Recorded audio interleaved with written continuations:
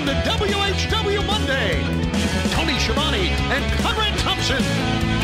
Jim Crockett Starrcade, 605 NWA. TV title, Cajun Omni, The Bunkhouse Stampede.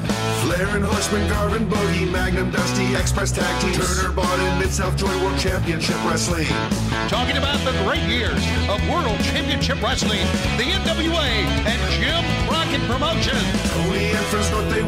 Look, Schiavone's back again. World title split off center stage. Bischoff, Disney Hogan, and Nitro. New World Order and the Crow. Thunder Russo, Arquette Champ, Vinnie Mac, simulcast. Tony's back with Conrad, not your classy podcast. Watch along, try not to laugh. Lowest rules, cat bath. This wasn't the initial plan.